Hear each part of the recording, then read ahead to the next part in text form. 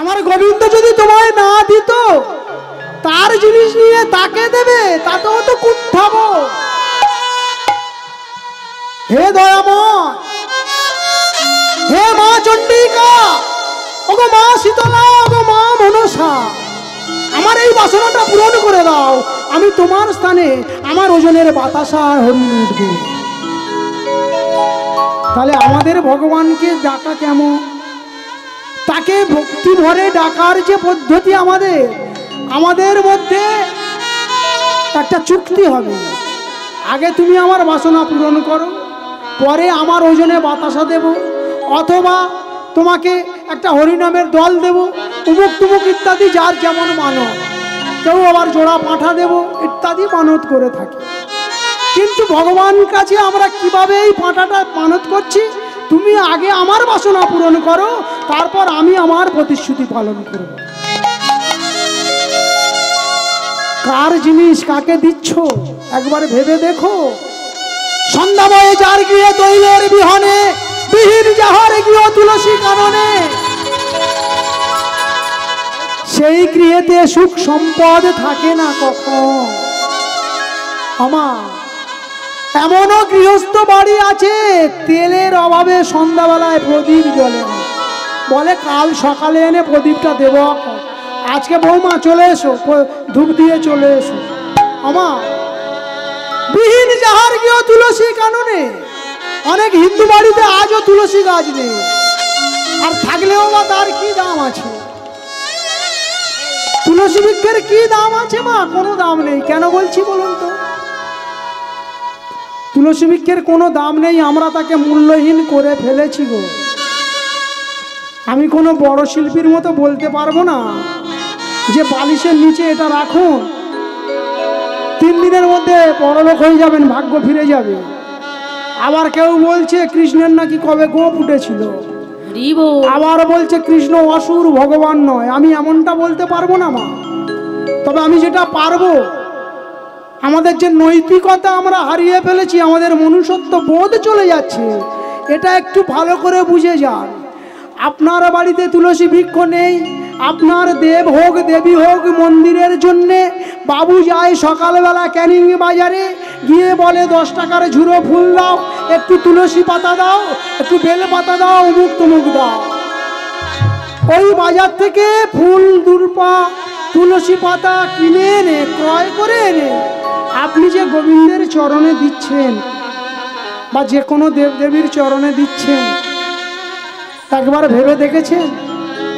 ওই তুলসীটা ঠিক কোন জায়গা থেকে ছেদন করা আছে?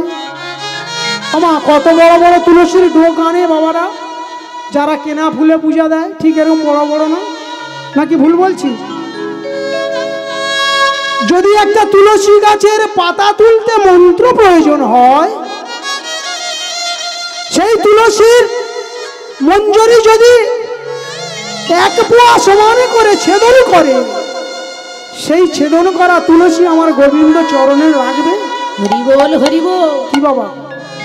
বৈষ্ণব বলে না যে তুলসী কে তুলসী তুলসী নারায়ণ তুমি তুলসী বৃন্দাবন। তুলসী তুলসী নারায়ণ।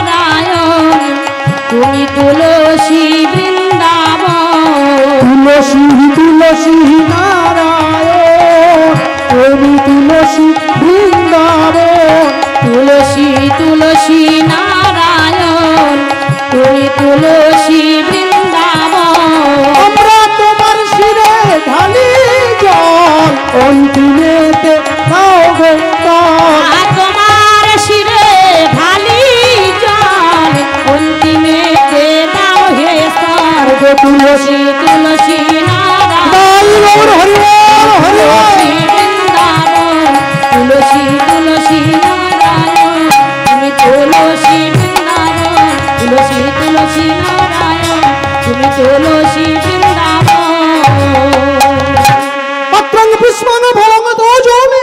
প্রযোচ্ছতি তমহং ভক্ত পরিতম স্বামী প্রয়োগাদ মানাও। অর্থাৎ গীতার কথা গো। আমার ভগবান বললেন, কিছু দেওয়ার দরকার নেই, একটা পাতা দাও। দু ফোঁটা নয়নের জল দাও। তা সেই পাতাটা যে আমি দেব, বাজার থেকে ক্রয় করে আনা, ওই যে তুলসীর অঙ্গে, সে যদি নারায়ণ হয়, তাহলে তার অঙ্গে কত আঘাত লেগেছে। যারা বিক্রি করছে, তারা তো ব্যবসায়ী। কিন্তু যারা কিনছে, তারা তো পূজারি, তারা তো গোবিন্দকে দেবে বলে কিনছে। তাই বৈষ্ণব বললেন সন্ধ্যা বহে যার গৃহে তৈলের বিহনে, বিহীন যাহার গৃহ তুলসী কাননে। কি করে ভগবানকে ডাকবো? ডাকার পদ্ধতি কে জানিয়ে দেবে? কার কাছে খবর পাবো? আমা, যখনই ও গো